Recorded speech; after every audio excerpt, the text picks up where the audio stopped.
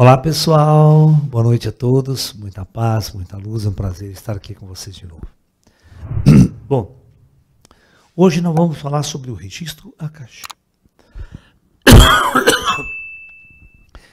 É engraçado, Moisés, pega aí umas imagens aí do que o pessoal acha de registro Akash, aquelas puta biblioteca gigantesca, né? Então, se você, antes da, da advento dos computadores, né? Das memórias artificiais, né, que a gente chama. O único a ideia que a nossa humanidade tinha de registrar alguma coisa era na mão, né? Você vê, a, os, os padres da Idade Média, eles demoravam, segundo o próprio estudo, dois anos para fazer uma Bíblia uma cópia de uma Bíblia, sabe? E era uma coisa extremamente trabalhosa, né? A forma. Então, os nossos amigos antigos, né, desde a antiguidade, eles começavam a imaginar como é que Deus, né, sabia de todas as coisas quando você morria, por exemplo, né? Ia lá na frente de São Pedro, São Pedro tinha toda a sua ficha, toda a sua, a sua, a sua capivara, né? Para saber o que você fez na terra de bom, não adiantava, né? Então, todo mundo imaginava que chegava lá num livro, né? Estava tudo registrado num livro, você está entendendo? Então, é utópico, né? E que cada ser humano encarnado na Terra tinha o seu registro acástico, lá no mundo espiritual, né? onde, através de uma autorização, você entrava nessa biblioteca, né? Você, por data, dia, tudo organizadinho, bonitinho pelos bibliotecários, né? Você pegava o seu livrão lá, né? Empoeirado pra aquela porra, né? Achou um aí? Ah lá. Os caras imaginavam também assim, né? Todos, tudo organizadinho, gigantesco, imagina, né? Hoje 8 bilhões de pessoas. Que tamanho não ia dar essa biblioteca, não? Para arquivar 24 horas de experiência de vida de todo mundo, né?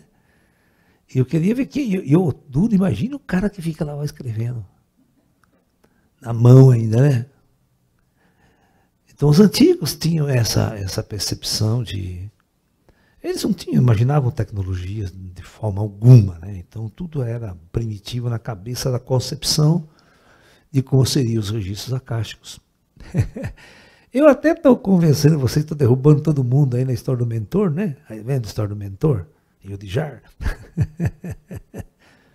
Você não pegou essa aula ainda, né? Você vai se ferrar hoje então. Quando eu pergunto para as pessoas, né, se elas acreditam que elas têm o seu mentor. Né? Você acredita que você tem o seu mentor. Tá, tudo bem. Você vai ver que não vai dar certo isso. São 8 bilhões de almas encarnadas. Se cada um que tiver, quiser ter o seu mentor, é 8 bilhões de mentor. E o mentor teria que ficar olhando você 24 horas por dia acompanhando. Ele não faz mais nada na vida. Quer dizer que lá no astral só tem mentor. não tem mais ninguém. Né? Ou seja, se lá valer a lei trabalhista, só pode trabalhar 8 horas por dia. Então você já vai ter que ter 24 bilhões de mentores. Só tem esse serviço lá, né? É completamente ilógico você ter alguém que cuide de você o tempo todo. Não vai ter. Né? Isso é bobagem. Essa concepção é totalmente errada, furada, primitiva. É igual a do livro à mão. claro que tem lógica. Vocês não entendem o plano. O plano astral está um bilhão de anos em tecnologia na frente do que você possa imaginar. Bilhões, não é milhão, não, é bilhões. Vocês não vão entender nunca a tecnologia operada nos planos superiores. Nunca. É uma coisa assim absurda. Então, eu venho trazendo já há algum tempo para as pessoas esse debate, essa discussão. Né? Eu venho trazendo três discussões complexas que é um upgrade para o Espiritismo. Não vai contrariar o kardecismo, nada disso, mas é um upgrade. Né?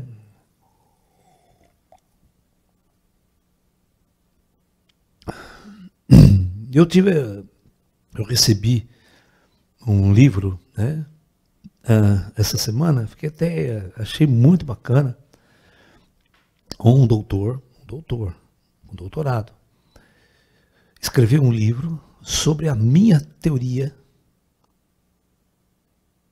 do plano espiritual. Toda essa teoria do plano espiritual a base da física quântica, da física quântica. Né? Os planos, as dimensões, tudo. Né? Falando dos ETs, a visão dos ETs, tudo, tudo, tudo. E o prefácio foi feito por um professor da Unicamp aqui. Que também é doutor. Né? E o livro dele está ótimo. Todas as análises da minha teoria, do meu trabalho. É, o, o livro dele é o meu trabalho. Analisando o meu trabalho. É, ótimo. E ele tá, mora na Alemanha hoje, mora em Hamburgo, na Alemanha, está na Alemanha. Hã? É acadêmico. Ele é do CNPq. Não, é uma divulgação científica, uma divulgação do trabalho que ele quis fazer, né? Porque ele é espiritualista, né? Comprou meus livros, tudo, e a partir daí ele ficou doido e escreveu uma análise dali, uma visão, né, dele.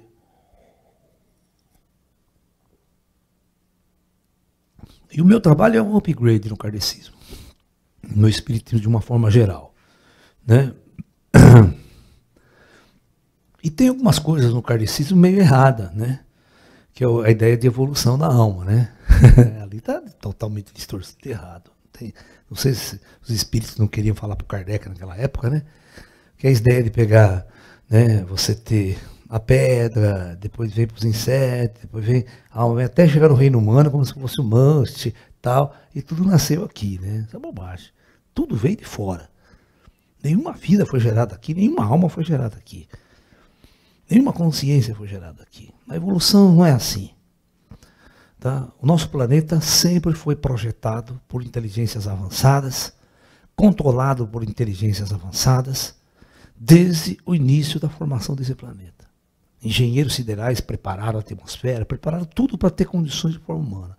Até arrastar o planeta na órbita certa. Você tem uma ideia, colocaram o planeta na distância certa do Sol, para não dar chabu.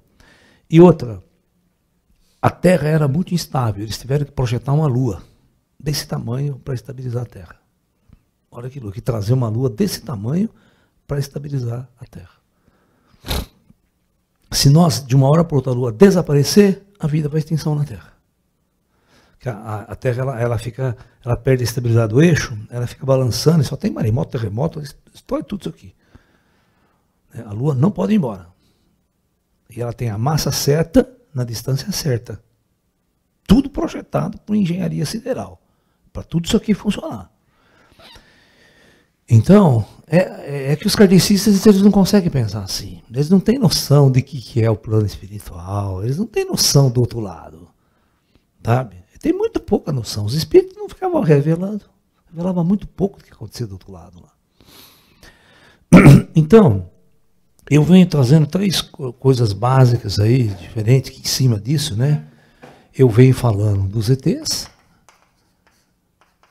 venho falando do comando, Astar, que é o Comando Planetário Terra, que era aquilo que a gente discutiu ontem, né? E venho falando novidades, né? Que praticamente quase 7 bilhões de almas, hoje encarnadas na Terra, estão na primeira encarnação.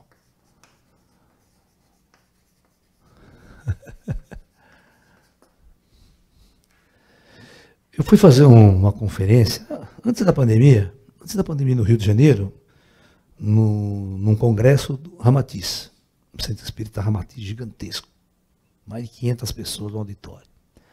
Eu fiz a seguinte pergunta lá: Quantas encarnações vocês acham que vocês tiveram aqui na Terra? O primeiro cara que levantou a mão falou 20 mil. O segundo que levantou a mão falou 15 mil. Outro mil. Até 500. O mínimo foi 500.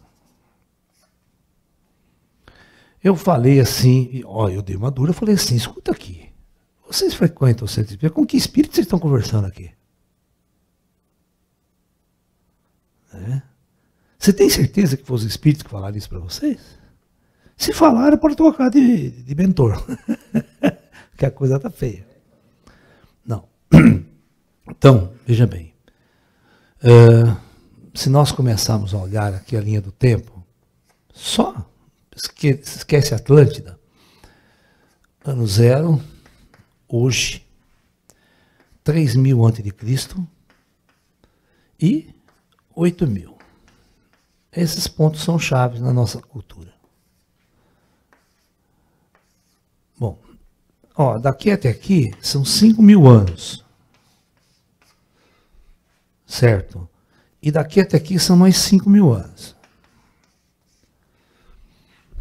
Neste ponto, se você fizer uma pesquisa arqueológica, tem só 4 milhões de habitantes na Terra. Só, no planeta todo. Que é o início, é primitivo tal. No começo da civilização nossa, que é 3 mil de Cristo, vai começar a civilização egípcia, a civilização suméria e tal. Aqui tinha 70 milhões de habitantes na Terra. Então, todo esse excedente está vindo. Está vindo de fora. As almas estão vindo de fora. No ano de Jesus, 170 milhões. E, claro, hoje, aqui, vamos chutar 8 bi.